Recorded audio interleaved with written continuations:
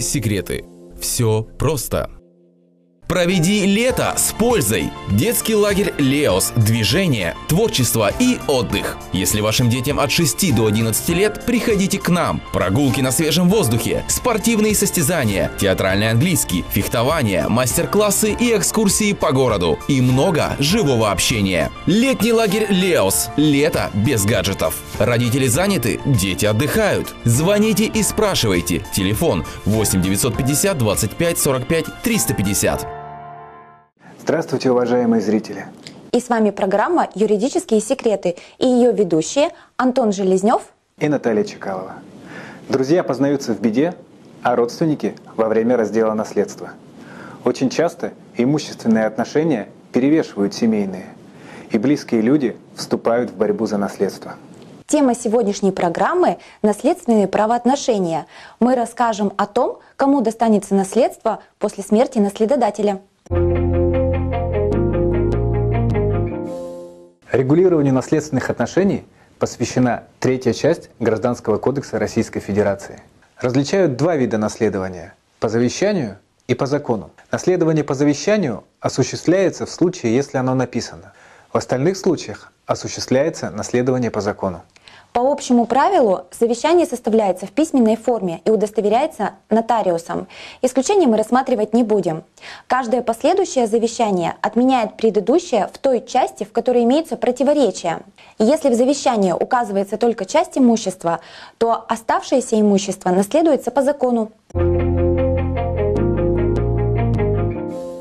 Если заинтересованное лицо не согласно с завещанием, оно может оспорить его в судебном порядке по следующим основаниям. Во-первых, если завещание было написано под влиянием угрозы или обмана.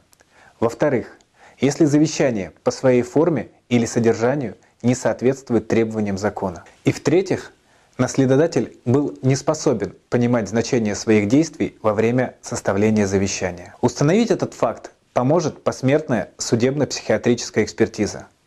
Она будет исследовать медицинскую документацию умершего, а также показания свидетелей. В случае отмены завещания наследство будет делиться по закону.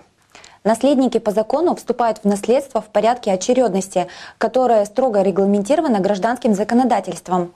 Порядок вступления в наследство вы можете видеть на рисунке. Несовершеннолетние или нетрудоспособные дети наследодателя, его супруг или родители, иждивенцы наследуют вне зависимости от содержания завещания. Не менее половины доли имущества, которое причиталось бы им по закону. Даже после смерти наследодателя, при отсутствии документального подтверждения, наследник может доказать, что являлся его родственником. Для этого необходимо обратиться в суд с заявлением об установлении факта, имеющего юридическое значение. В ходе рассмотрения дела будут исследоваться свидетельские показания, а также другие доказательства, которые могут подтвердить данный факт.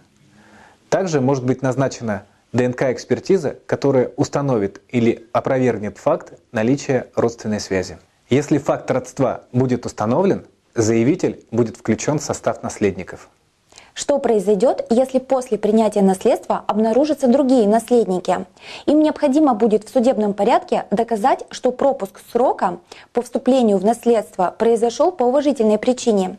Если суд восстановит срок, который составляет 6 месяцев, и признает причины уважительными, тогда взамен старых свидетельств о наследстве будут выданы новые.